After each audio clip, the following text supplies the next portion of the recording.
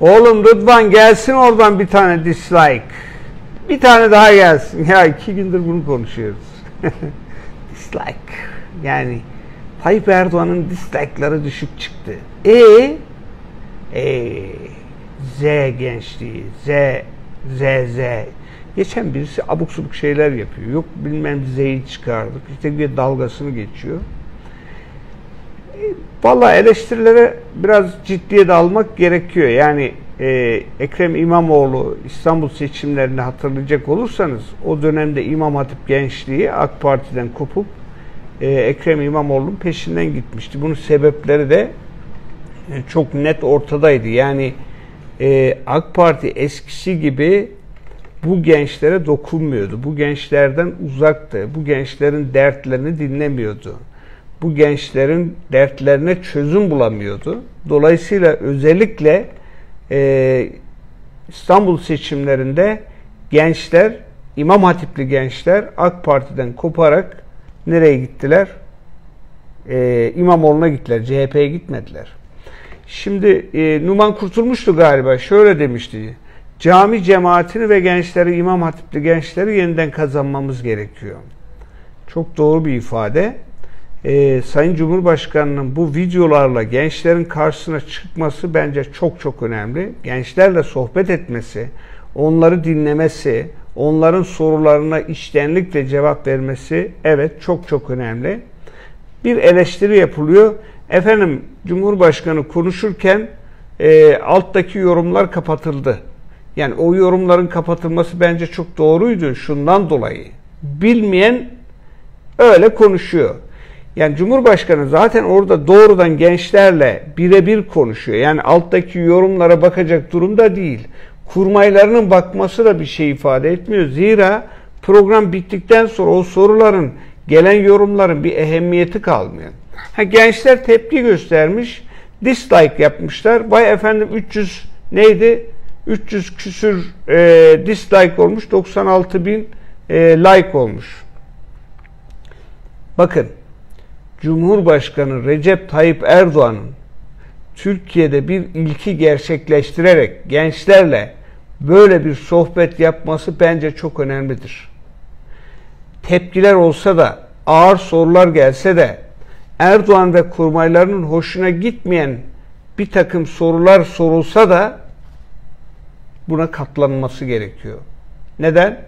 O gençler dediğimiz yani İmam Hatipli gençler, işte yok başka e, partilere gönül vermiş ya da işte son zamanlarda üniversite sınavıyla ilgili tepkiler var, oy moy yok diyorlar ya.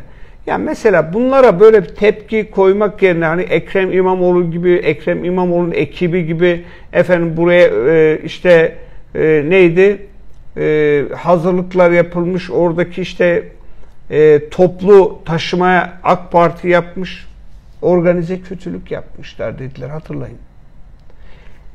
Buna da getirip bota bağlayıp efendim organize bot yapıldı orada işte dislike yaptılar. Buna gerek yok.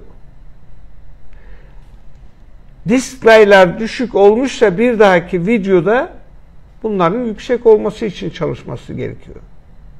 Gençlerin her sorusuna cevap verilmesi gerekiyor.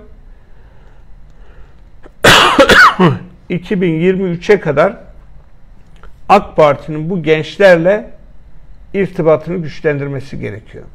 Aksi takdirde dislike, mislike önemli değil. Bu gençler bir umut bekliyor. Bu gençler bir ışık bekliyor. Gelecekleriyle ilgili e, herhangi bir sıkıntı yaşamak istemiyorlar. Birçoğu ben gideceğim diyor. Nereye gideceksin diyorsun. Ben yurt dışında yaşamak istiyorum. Yurt dışında sanki hayat çok güzelmiş gibi ben Amerika'da yaşayacağım, İngiltere'de yaşayacağım. Kardeşim Türkiye'de niye yaşamıyorsun? İşte sosyal medya üzerinden veya siyasilerin sık sık yapmış olduğu konuşmalarda algı operasyonuyla bu gençleri kendilerinden, kendi ülkelerinden soğutmuş hale getirdik. Bu yüzden dislike çok önemli değil. Erdoğan'ın ve kurmaylarının bu ülke için AK Parti için demiyorum. AK Parti'nin 2023'teki seçimler için demiyorum. Bu ülke için bu gençleri yeniden kazanması gerekiyor. Bu e, sosyal medyadaki karşılıklı göz göze bakışarak yapılan söyleşileri ben önemsiyorum. Pandemiden dolayı konferans yoluyla yani uzaktan e, görüşme yapılıyor. Pandemiden sonra Cumhurbaşkanı'nın bu gençlerle çok daha sık bir araya gelmesi gerekiyor. Zira hakikaten burada bir sıkıntı var. Partiler için değil, gençler umudunu yitirmişler. Gençler siyasetin içerisinde boğulmuşlar. O e, Kemal Kılıçdaroğlu'nun sürekli hakaretamiz ifadeleri, öbür taraftan Erdoğan'ın e, karşı cevabı, Devlet Bahçeli'nin başka bir ifade kullanması, gençler şaşkın bir şekilde şöyle izliyorlar. Ya bunlar ne diyor? Bizim derdimiz ne? Bu insanların derdine bak. Çözüm var mı çözüm? Çözüm yok. Dislike. Eğer çözümü bulursanız dislike'lar da bir o kadar artacak. Ama tabii bu öyle gençlerin Erdoğan'a karşı bir tepkisi falan filan değil. O öyle düşünmek doğru değil. Zira orada bence önemli olan şu saat itibariyle 2,5 milyona yaklaşan bir izleyici kazanması ve Tayyip Erdoğan'ın YouTube kanalı da yeni açılmış. 140 binlere doğru çıktı. Yeni açıldı, yeni açıldı, yeni, sıfır. Ee, bir anda 100 bin, e, dün de baktığımda 140 bini falan geçmişti. Ee, YouTube kanalı önemli. Erdoğan'ın buralarda olması daha da önemli. Benim Fahrettin Altun'dan ricam, aynı çağrımı tekrarlıyorum.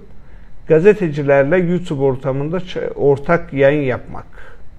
Ben bu teklifimi yenileyim.